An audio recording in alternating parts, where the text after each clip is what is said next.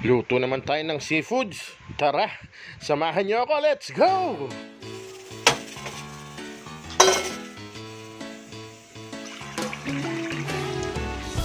Pakuluan lang natin. Oh, tatlo lang, malit lang. Yun. Yung tahong naman. Ikaw ang laging hanap ko sa bawat Yun. Oh, wraps. At,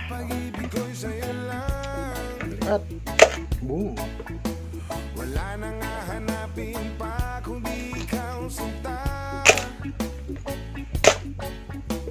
Pikit man aking mata, ika'y nakapita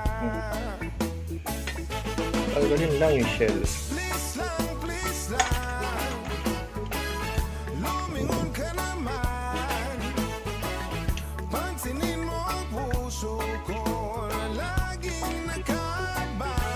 Yun.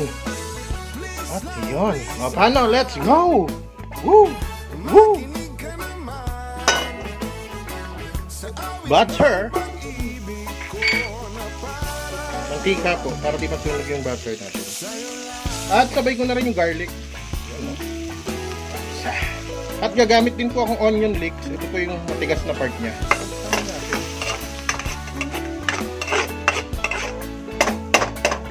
Hipon. O, one fourth lang.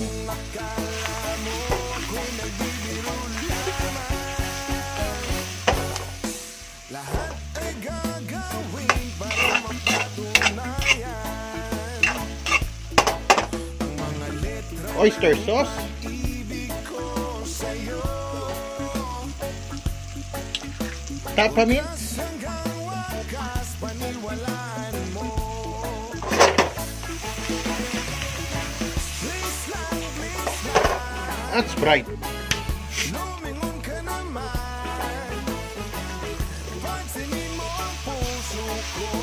laging nakabang Lagay ko na rin po itong sweet corn. Pinakuluan ko na rin po yan. So, luto na yan.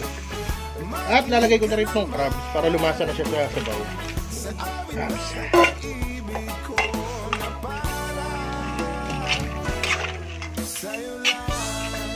Onion leeks. Red bell pepper. Yun. Slurry. Cornstarch lang sa tubig po yan.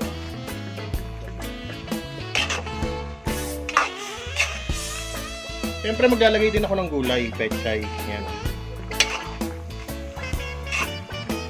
At ang huli-huli po, yung tahong. Ay, Diyos ko, day! Wraps!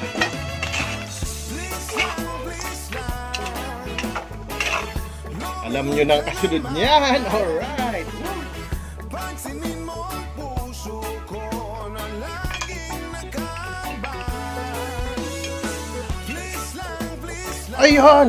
Oh, alam nyo ng kasunod niyan. Kainan na. Rapsa.